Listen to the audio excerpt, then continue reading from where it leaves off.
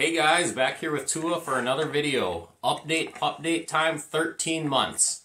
If you're new to this channel, I do these types of videos every single month on my Bull Mastiff Tua. I used to do them weekly and I changed to monthly once he turned a year just because everything was kind of slowing down with growth and everything else. And I do these types of videos just to try and create a great log of information, not only for myself to look back on, but also for anybody that might be interested in the Bull Mastiff breed. The main things that I touch on in these videos are his growth, his height and his weight, his barking, his drooling, his energy levels, socialization, what I'm doing to socialize him, and his food, what I'm feeding him. Um, I do feed him a mix of kibble and raw. And those are just kind of the main things that I, I looked at when I was interested in getting a bull mastiff. You know, how, how much do they grow? Uh, what are their energy levels like? What's their barking like? Things like that. So I've just kind of created a great log of information on a week by week basis and uh, now month by month on what you could expect if you're interested in the breed, um, if you currently have one, and uh, you could you could just go look back if you're curious. You know, for example, I wonder how big they are at 13 weeks old. Well, you can go look back at my video and I'll tell you exactly how big he was at 13 weeks old. Um, so there's just great log now out there for anybody that uh, is interested in the breed, has has a bull mastiff or anything like that. So go ahead and check out all the videos if you are interested in the breed. These videos are getting a little bit longer now, this format of video anyway, since I try and cram everything from one month into it instead of uh, one week like I used to. So I really do appreciate anybody that sticks around and watches the whole video. Um, awesome. But I usually start these out with uh, just some new things that I noticed throughout the month, besides those six main things that I hit on every single week, which is growth, food, socialization, drooling, energy, and barking. Um, the first thing that uh, was new to this month kind of stuck out to me more, uh, and I've talked about it before, but it's been a little while, is his marking or his peeing on stuff. He marks on absolutely everything when he goes outside, whether it's in our yard or out on walks or or whatever. Um, it's almost to the point that, like, when we let him out to go to the bathroom, he's not peeing unless it is on something. He will still pee in the yard, you know, just in the middle of the yard at times, but I would say 90% of the time uh, he's peeing on stuff. And I want to say that that is uh, chalked up to him being unfixed. I think that's a pretty common not necessarily issue, but pretty common um, occurrence with dogs that are unfixed, and Tua is unfixed. Uh, so not really an issue per se, uh, but sometimes he will pee, you know, on the kids' outdoor toys, things like that. So they those got to get cleaned up at the end of the day, or hosed down, or whatever. And up to this point, he had never peed or marked on anything inside the house, but that did change just a couple of weeks ago we found a spot in my wife's closet.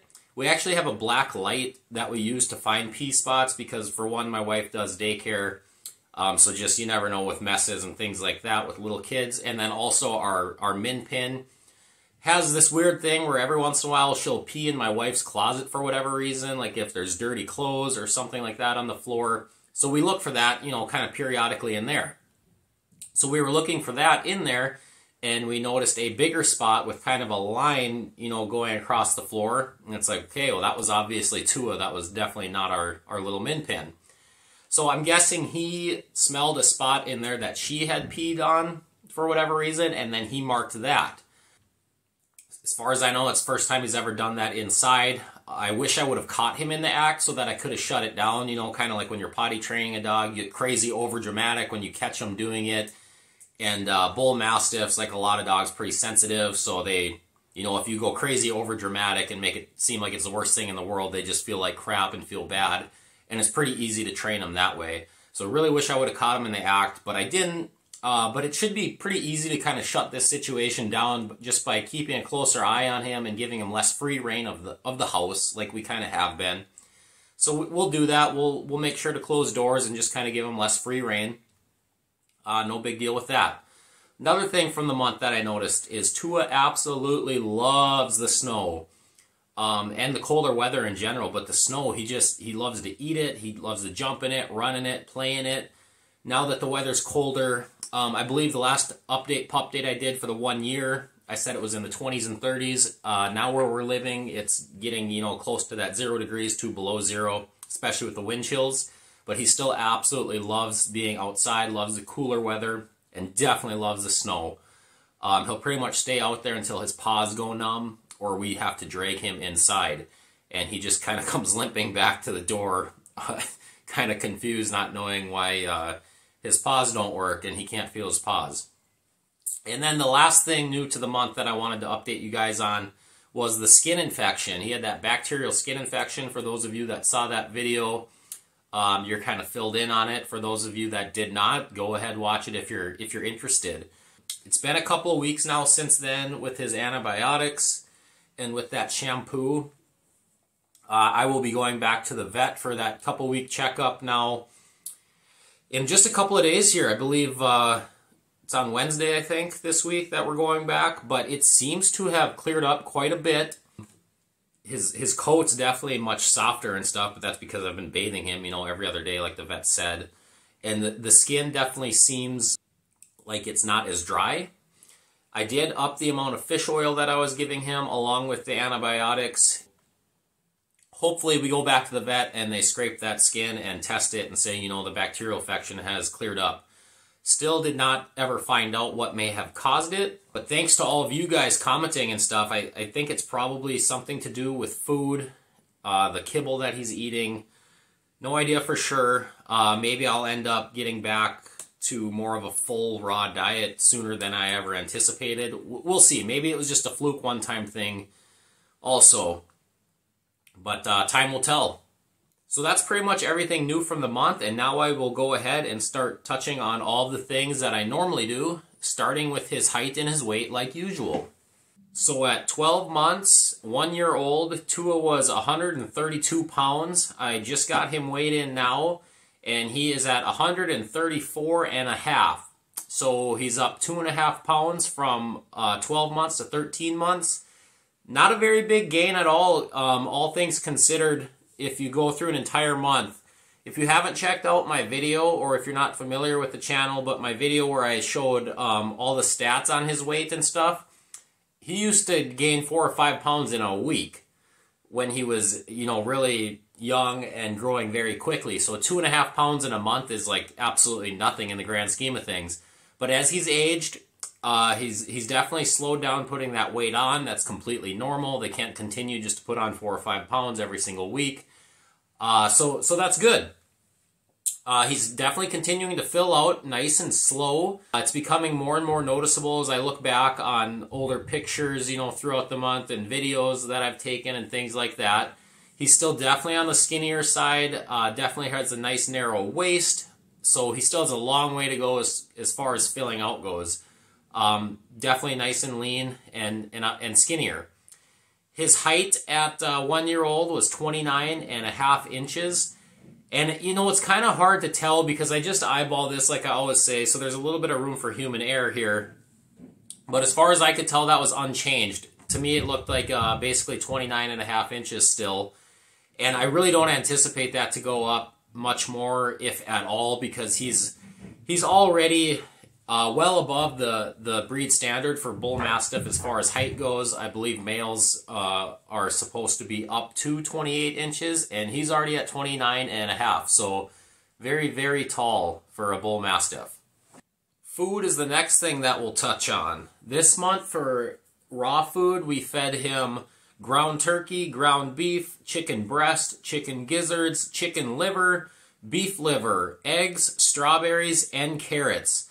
And if you're a regular viewer of this channel, this is all very familiar to you. I do about a 50-50 split as far as raw food and kibble goes. But as I said earlier, if I find out that his skin condition was a result of his kibble, then, you know, maybe I'll start transitioning to even more like a 75-25 split or maybe even full raw.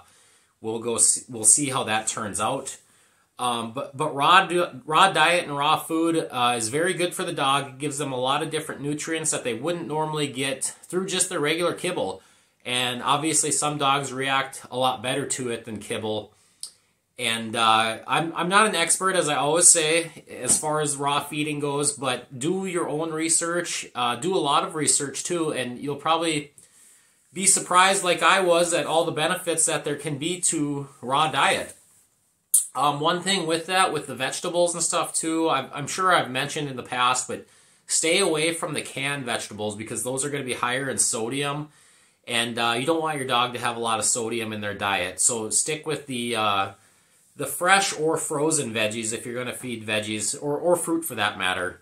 Socialization is another thing that I touch on every single video. Uh, this was a very, very good month for it, with it being the holidays, and my daughter also had her birthday is in this month of December as well. So we had tons of new people over uh, that are new to Tua people anyway. And I've I've mentioned this many times before. He is such a people dog. He absolutely loves people and he can get overly excited when new people come or just people in general.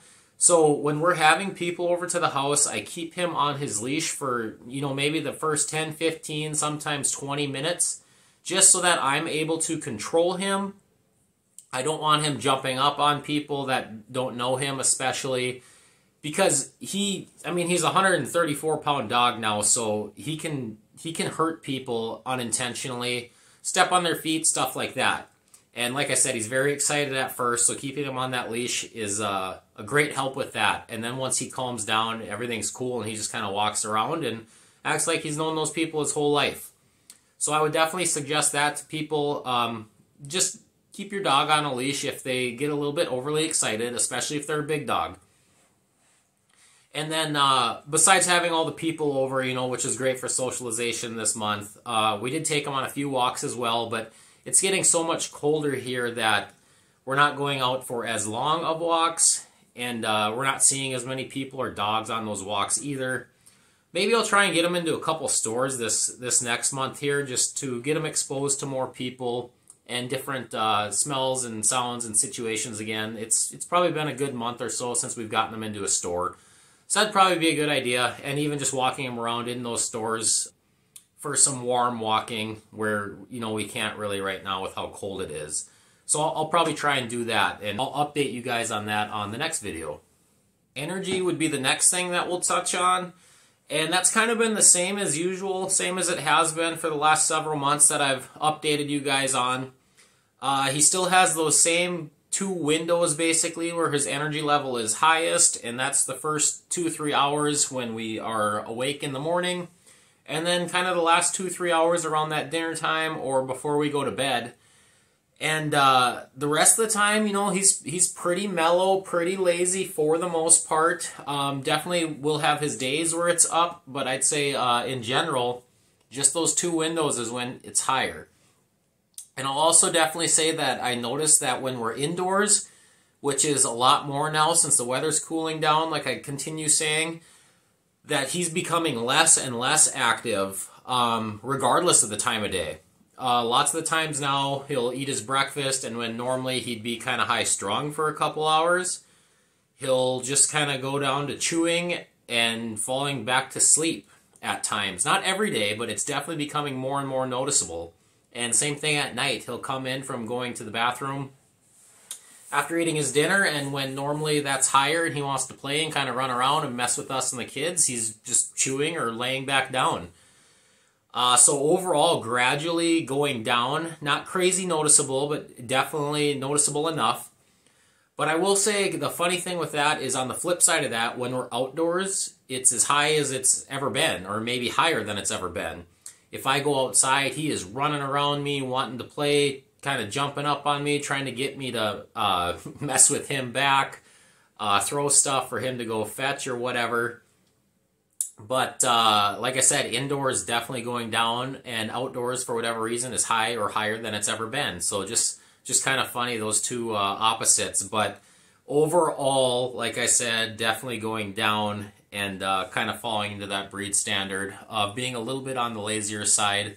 I'm sure we'll still have another year or two of his energy like this, where it's still higher outside. But as he ages, I'm sure even outdoors it'll it'll go down some. Barking is uh, the next thing that we'll touch on. So I've said in all these videos for a long time that he's not much of a barker, but it's definitely going up. And so this last month, same thing. He's not much of a barker, except for one situation. And it's been increasing a lot as of late. And that situation is when he is in our backyard.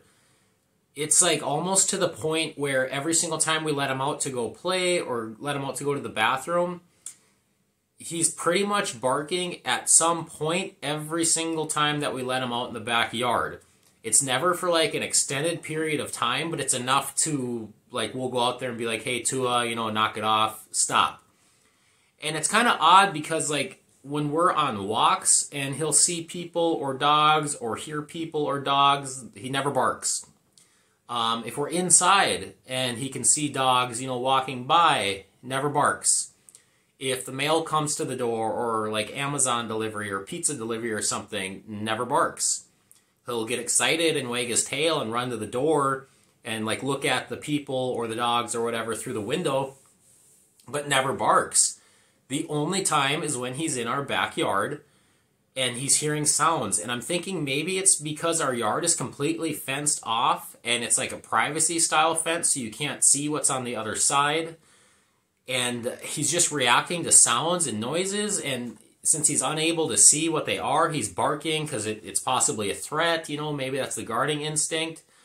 It's just it's really weird. I, I think it is that fence because even when he's in our front yard and stuff i'll have him out on his long leash if i'm shoveling snow or something like that and he'll hear dogs barking and he's not reacting to it it's it's literally only in our backyard guys it's maybe he's very um, guarding of our backyard, very protective of it. I, I, don't know. Do you guys have any similar situations like this? If you're a uh, bull mastiff owner, does your bull mastiff only bark when he's fenced in in his backyard and none or no barking beyond that? Because that's that's kind of the situation where Tua is falling into. It's it's kind of strange, kind of odd, but uh, with that, I guess I'll update you guys by saying he's still not much of a barker except for in that one situation when he's in our backyard. Uh, and sometimes not even barking at anything, anything obvious anyway. Noises off in the distance, I guess, but uh, kind of funny. So the last thing is drooling. And like I keep saying, this one's very, very repetitive because it's pretty much unchanged, but I want to keep touching on it because it's very important for people that are looking into the Bull Mastiff breed. How big of droolers are they? Well, in my situation with Tua, 90% of his drooling is when he's drinking water, and it does become extremely messy during those times. So, if you don't want water and drool all over your floor or where you're feeding him, you just need to be standing there with a rag, paper towel, just something to wipe their face when they're finished drinking. The other times that he does drool is when he's stressed or excited or he's hot and panting. But again, not even close compared to the amount that he's drooling immediately after the water, after he's drinking water and it's pouring out of his jowls. Another time that he'll drool is uh, sometimes if he'll he'll watch me, you know, preparing his food and he knows that he's going to eat, and it'll start drooling or the drool will start dripping down from his jowls at that point. But that's typical to a lot of big dogs. If they see uh, food and they're anticipating getting fed, they'll drool. So that's not you know, uncommon for any breed and not specific to a bull mastiff by any means. But he's definitely not a dog that when he's just lounging around the house, he drools all day, uh, like like the stereotype is with uh, mastiffs, uh, bull mastiffs, and, and other large dog breeds. Just want to get that out there that it's not like he wakes up in the morning and is drooling from the time he wakes up to the time he goes to bed only certain situations. Um, you know when those situations are going to be for the most part, and you can prepare for that as needed. But other than that, guys, that's all I have for this week's or this month's update pup date, uh, month 13. Thanks if you stayed and watched the whole thing. Like I said in the beginning, these are going to be longer since I'm trying to cram a month's worth of information in where I used to only do a week. Really do appreciate it, guys. Have a good rest of your day and take care.